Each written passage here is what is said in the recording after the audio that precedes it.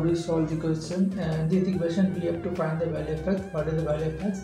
Let's start the question. Here you can see that 1 divided by the root 6 minus 5 equal to 0 factorial. What is the value of 0 factorial? The value of 0 factorial is equal to 1 so i write the 1 here you can see 1 divided by under root 7 6 minus 5 here you can see that if i add 6 x minus 5 then I open the under root value which is equal to 1 upon 7 here you can see that here is divide under root 7 is dividing.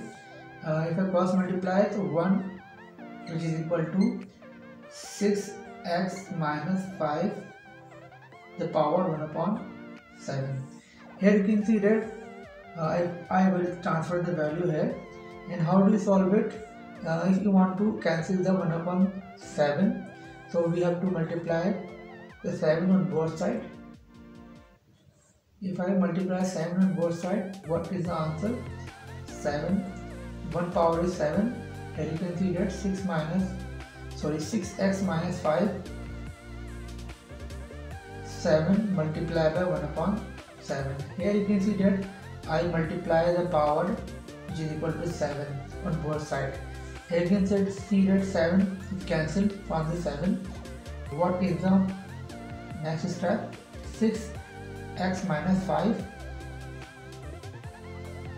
here you can see that 1 power is 7 which is equal to 1 here you can see that 6x minus 5 5 is minus. If I transfer from right to left side 1 plus 5 the sign will be changed.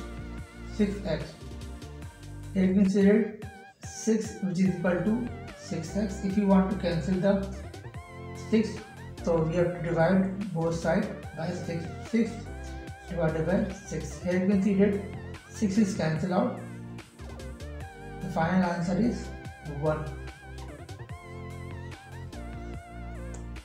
so if you are new on my channel so please subscribe my channel and share it. See you in the next video. Bye bye